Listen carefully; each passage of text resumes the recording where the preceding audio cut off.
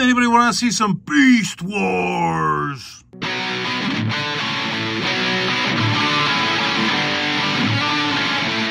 What's up, Internet? It's Mitch Santona, your Transformer reviewing pal, and I got some Masterpiece MP59 Rhinox to show you from the Beast Wars. And I'll show you what the box looks like if you're looking for them on shelves, because, you know, they sell these on shelves. But, I don't know, I'll just show that box off to you, because why not? And I'm going to get him out of the box, and we're going to start playing with some toys. Rhinox comes with everything you see here. He comes in a clamshell. You've got some semi-full color instructions going on here with some lore and some of the history of the character. That's always fun and appreciated by this guy. Got a little trading card here, you know, his little, his little collector card, if you will, with his stats on the back. That's neat if you're into that. And then the figure itself comes in this clamshell. He looks awesome. He's super heavy. He's got an alternate face here. And he's got a, an adapter for Optimus to sit on his butt. He's got a couple of these uh, Gatling spinning hand cannons. One is stored inside of his Gulu. The other one is right here. Then he's got another gun too, painted to the nines. They look really cool. And this looks like a spark, if I'm not mistaken here. Looks like somebody's spark. So we'll get this open and check it out.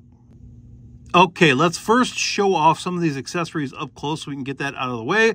Here's an alternate face sculpt here, painted up to the nines with the maximal symbol, so looking nice. Here's that spark. This is pretty cool. It's in this done in this blue clear plastic. And I think you can kind of open that up and reveal a bunch of metallic purple grapes. I guess that's at the heart of all Transformers. They like grapes or something. They were not playing games with the weapon sculpts here, man. Very nice. Lots of intricate details. A ton of paint colors, just different colors, and there's shiny metals and stuff. Gun metals, coppers, wiring all over this thing. Look at this, man. This is gorgeousness. Keep that up. Even more detail on the Gatling gun here. You can see some reds and silvers. This obviously spins. That's very neat. And the maximal symbol on the gun, painted up to the nines, sculpted up to the nines. You got like some ribbed stuff here, rivets all over it. And look at this, even a wood grain handle. That is sweet, man. And the best part about it is there's one of two. All right, we're going to look at the figure here and all this polygonal glory. I think they did a bang up, excellent job at this thing. I couldn't be more delighted with what we got here for this because it really, really looks a, a lot like the old, the old animation. And th there's a derpy factor to it, man, but it's so charming and so delightful to me. It makes me smile. I, I completely dig what they did here to this. The sculpt is great. He's heavy, looks really cool. Uh, we're going to look at it in a little bit more detail. I'm going to zoom in and stuff. I just want to give you like a quick little spin around on what you're looking at here. I, I can't be happier. Let's compare him size-wise to like a deluxe vehicle. You can see he's quite large and heavy. Now, some of the play features and some of the sculpting we're going to get in close here. You see the skin is all sculpted all pebbly and stuff. I love that, man. He's got all this like rhino hide all over it. I totally dig that uh, even down to the nails and teeth and stuff. I'll show you that in a second. The ears are on ball swivels. They move around. You can emote him however you like there. The eyeballs will even swivel around in there too if you like. So you can you can make, make him give you the bombastic side eye if you want. The mouth opens up. It's all painted up beautifully in there. You can see the big tongue and mouth and teeth and stuff there. That's super cool. And look at even on the bottom of the nails. Like they got little sculpting here on the on the dino toe or the rhino toenails, whatever I'm saying here. These can move a bit. They move a bit in this mode. You can do that. And the back ones, I don't know if they're static. No, they move a bit too. So you can, you do have a little bit of range of motion here. His little tail even goes up and down a bit. And what's cool here is you can unplug the head and then you can have him move his head side to side. I love it, man. He's even got a little bit of up and down, but you got some wiggle waggle here with the face. That is top notch, Hasbro. Way to go, Takara, Hasbro, whoever. Now, before we get to Transformer, he does have one more gimmick in this mode. You pick off this little plate that comes off, and then what you do is you put this thing on. And I don't know if it goes this way or the other way, but we'll find that out in a second because this is an adapter saddle for somebody else. Here we have Optimus Primal riding him with a little saddle piece. So the little crotch cradle you can flip from back to forth, and then depending on how you have the hips oriented to this guy, you because when you spin this, he's in his uh, gorilla mode. You can have them ride them in either mode. I just have to have them in robot mode, so that's what we're going to stick with. But I want to show that off and get one-time use out of that because I don't think I'm going to display it as such. So might as well show it and enjoy it for the time being. Oh, so here we have it. Just 71 simple steps and we'll have ourselves a robot mode. So, no time like the present.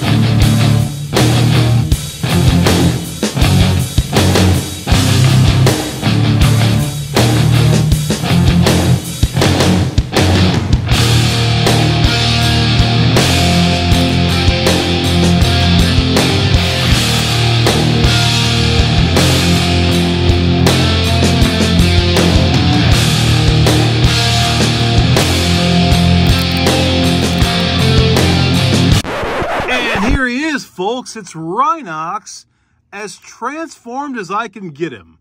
I tried to read the instructions. They are completely unclear. So this is what we're going to call robot mode. Looking pretty nice, right? I mean, this looks pretty good, doesn't it? I did a pretty good job, didn't I? I mean, I've been doing this for what? I don't know, 18, 20, 40 years now. So yeah, this is what I got. This is as best as I can do. There he is in robot mode. Do you like it?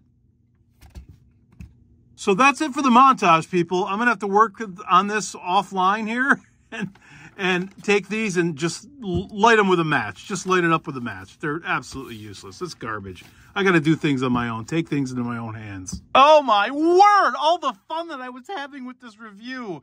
Oh, it was uh, just sucked. It got sucked right out of me when I transformed this thing. Oh, the instructions are horrible. Instruction guy. Come on, man. Me and you. A couple rounds in the ring. ah, That's Mitch Santona being nice.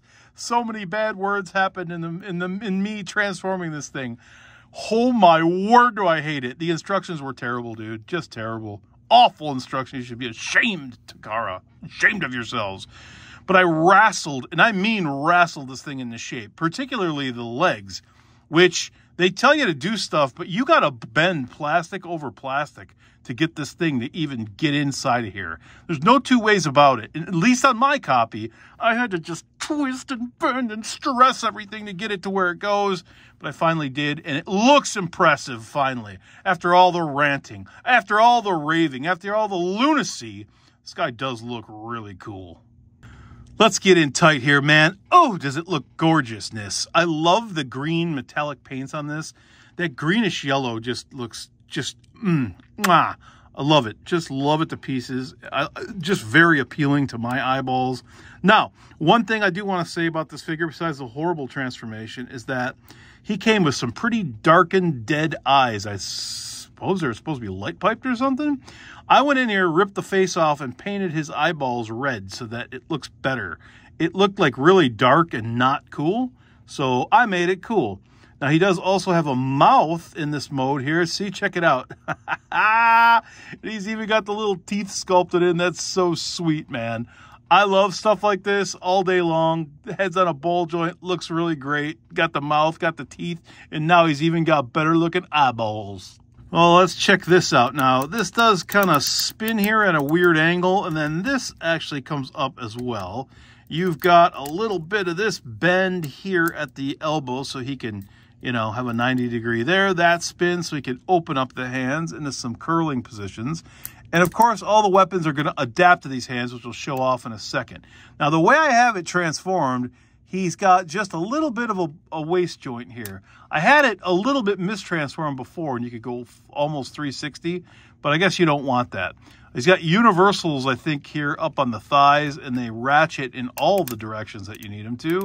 The knee's got a nice ratchet to them, and what's weird to me here is that my copy has some kind of weak jointed uh, ankles they're they're pretty weak, and I don't know if they're not plugged in right. That could be very well because you know, again, I had to fight this thing, but it's kind of weak at the ankles, which kind of bums me out because this guy's a heavy figure and he needs to stand. The hands look amazing. They look more articulated than they actually are, to be honest with you, though. They've got a, let's see, we got a couple of pivots here on the index finger, and then these other fingers are tied together at the secondary knuckle uh, but they do have bending there at the first knuckle.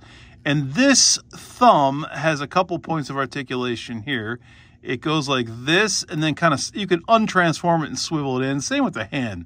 That can kind of come off of here, but it's meant to plug into that. And this actually is meant to plug into the side of that, but I like to, you know, open it up a little bit just to give them a little bit more range. If you started watching all that transformation chaos, you saw me pull this out of his guts. And this one's a little bit different in that it can pivot and go like this. And now you have two of these things that can pew pew, choo choo, and shoot shoot you. Ah, oh, that's how he stands dual wielding these. Man, does that look cool, doesn't it? Let's see if we can spin them too. Whee! And I gotta be honest, I don't really remember this gun too much from the show, but it does clip onto either arm. So that is how he's going to stand next to Optimus Primal on the shelf. They look great together, a great pair. This thing definitely presents, man. As far as the transformation goes, it's terrible, but does it ever present? And he's going to present himself right like this in my display. That's going to wrap this one up, people. We just seen Masterpiece Rhinox, and this guy is a rhino of a transformation. He really is rough. It was a bad one for me. I didn't like it at all, to be honest, but both modes look absolutely splendid and superb. He will definitely display well, and this is how he's going to sit forever and ever. Take care, everybody. Thanks for watching. I'll see you guys in the next one with some more TF goodies. Arrivederci, babies.